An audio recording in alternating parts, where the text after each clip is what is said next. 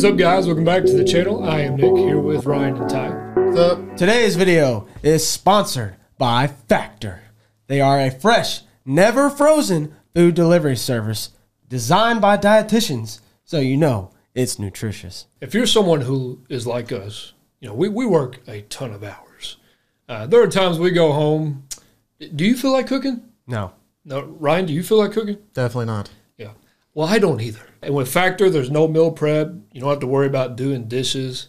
It's going to save y'all a lot of time. It's super convenient. You can get up to 18 meals per week, and they change their menu weekly, so you don't have to keep on ordering and eating the same stuff. You know, your, your taste buds are not going to get bored. They have over 27 meals and over 34 add ons, so you can have it your way. They have keto options, low calorie, vegan, vegetarian. I mean, this is an old brainer, y'all. You know, my mouth is watering. I'm getting pretty hungry. So I think after we record, I'm going to go sign up myself. I was pretty hungry before we even start this video. Of course. So I think I'm gonna go sign up too. And you can do that by using the link in the description below or go to go.factor75.com. And also, they have a promo code of Factor SE 35869 for 50% off your first box. Thank you, Factor. All right, so uh, we have reached the end of our double take marathon. yeah. The last band, anyway. This isn't the last song. Got two more songs to go. You already know. We're ending it with Metallica because that's the right way to do things. Darn straight. so I originally intended uh, for Metallica to be the last band because they had a new album recently come out. Uh, so I plan to do a song from the album. And if you guys are in the know, if you pay attention to music nowadays, uh, you've probably seen reviews and you know just what people think about the new album in general. Uh, and it's not a surprise; like it just didn't get great ratings, uh, which was kind of disheartening for me as a fan because like I love this band with all my heart and soul. So I think we're just gonna kind of go the normal course here. I'm not gonna do one of the songs from the new album. Yet. Um, yeah, yet. It's not a terrible album. It's just what the kids would call mid for Metallica standards. you know, th- there was still like four or five songs that made my playlist. But, uh, you know, eventually we'll do some songs off of that album. Uh, but for now, we're just going to stay the way we were doing before. So every Metallica song we've done is a classic. And that's just how it's going to be until you hear otherwise. Eventually, we'll run into a deeper cut, but uh, the library is thick, Ty. Very thick. Uh, I mean, we're not even through chapter one. no. Uh, not even a fraction through chapter this one. is like an encyclopedia. so it's time to flip another page, or should I say, turn the page. Uh, so the song we're doing today is called "Hit the Lights." Uh, if you're new here, this is not a first time reaction for me and Ty. no. We we've heard the We've catalog. heard the catalog. Ryan is the first time listener when it Every comes to time. Yep, every single time, except the last time we did Lux Æterna, but that was rare. That was very rare. Me and you had never heard. Oh, okay, for before. us. I'm to say for Ryan? Yeah. No, every time. Every time for Ryan. Yeah. When it comes to Metallica, Yep. So Hit the Lights was the first song Metallica wrote. It's also the first song they recorded, the first song they released, and the first song they ever performed live. First, first, first. Uh, the band wasn't fully formed when they wrote and recorded the song. James Hetfield originally wrote the song with his old band, Leather Charm.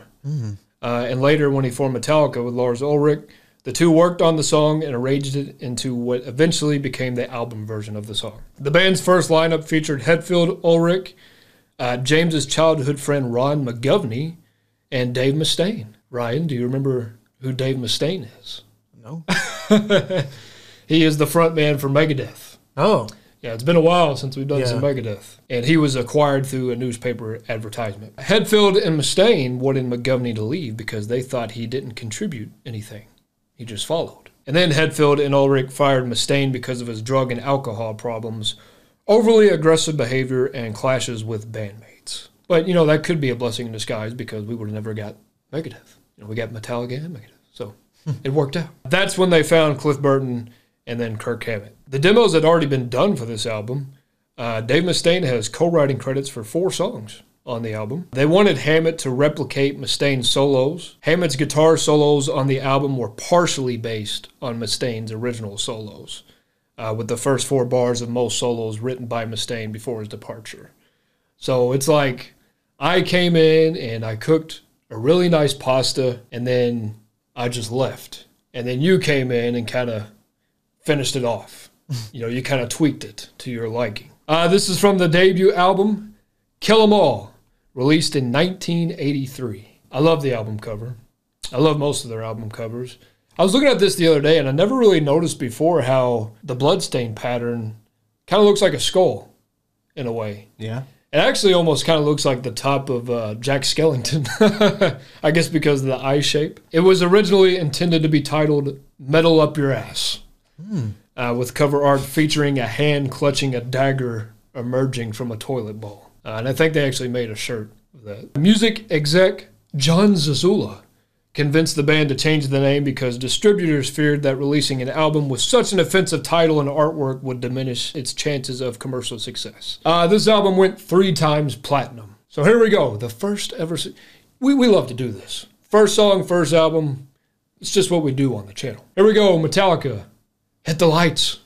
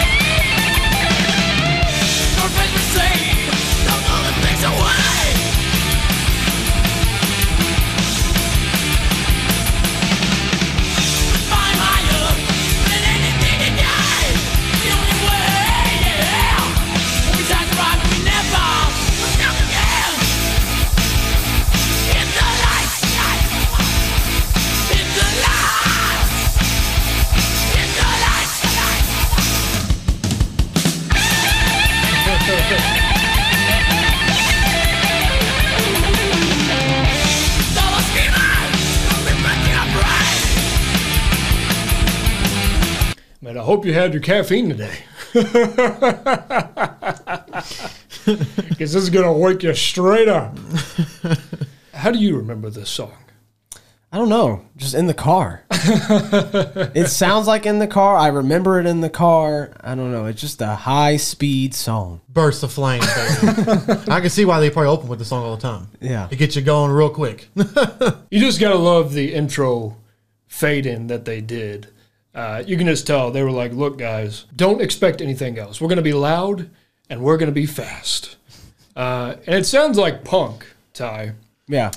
Uh, it has the attitude, energy, rebellion that punk has. You know, punk was only around for a few years. So, I mean, they're, they're basically right there, you know, near the start. The difference is, is the transitions and the tightness. Because this wasn't happening in punk. This exceeds the punk standard, musicality wise. And I mean, I love that pre chorus fret and then into the chorus. That is the moneymaker. I mean, that just sounds live to me. I mean, that that just hits so nice. Um, it just makes you want to smash some light bulbs, right? you know, they have that, that smash room, you know what I'm talking about? Be a great song for it. yeah. Dun, dun, dun, dun. Just Going grab the sledgehammer. I've read into those, but I've heard like they only let you do it for like five minutes though. Yeah, it's not that long. That's not enough. I need more time than that, y'all. What, what would you want to break the A most? TV, Oh, Yeah. okay. for sure.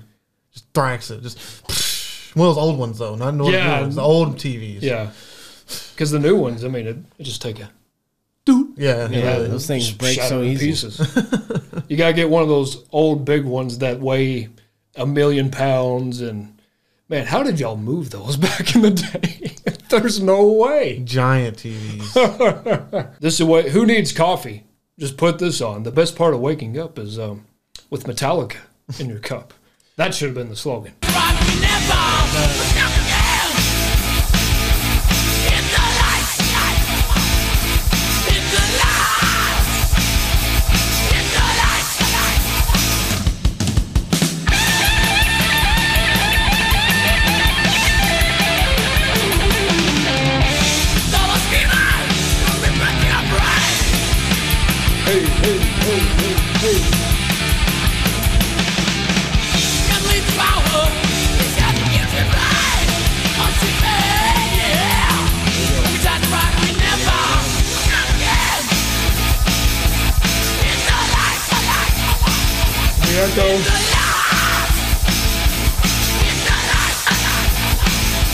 Light, in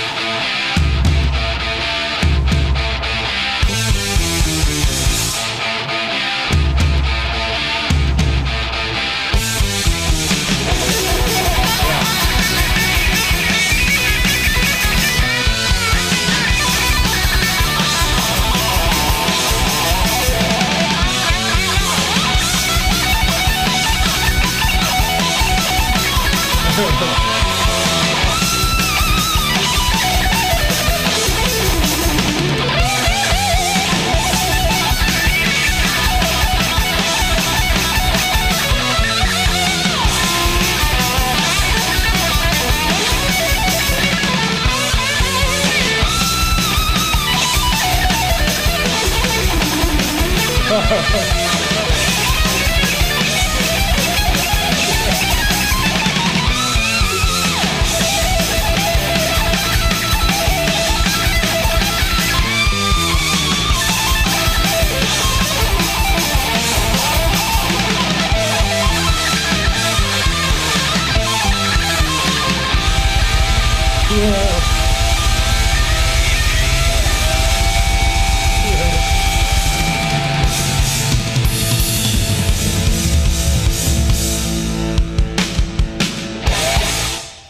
That's how you kick off a career, right there.